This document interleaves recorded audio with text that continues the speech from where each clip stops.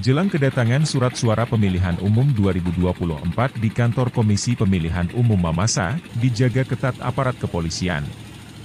Pantauan tribunsulbar.com, di depan kantor KPU Mamasa, Desa Rambusa Ratu, Kecamatan Mamasa, aparat kepolisian Polres Mamasa siaga menunggu kedatangan surat suara, Rabu, 3 Januari 2024.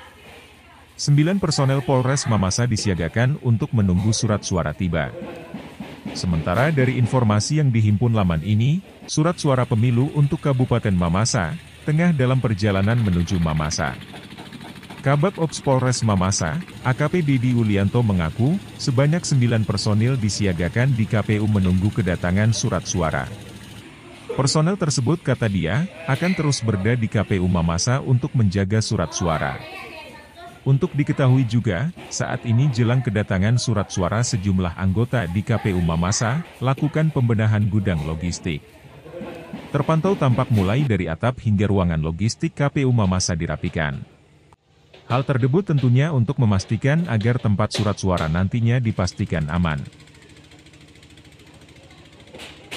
Download Tribun X sekarang, menghadirkan lokal menjadi Indonesia.